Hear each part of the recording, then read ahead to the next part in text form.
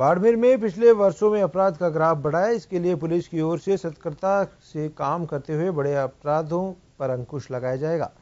आमजन में पुलिस के प्रति विश्वास हो, इसके लिए प्राथमिकता से काम किया जाएगा। यह बात नवनियुक्त जिला पुलिस अधीक्षक शिवराज मीणा ने पदभार ग्रहण करने के बाद मीडिया से कही।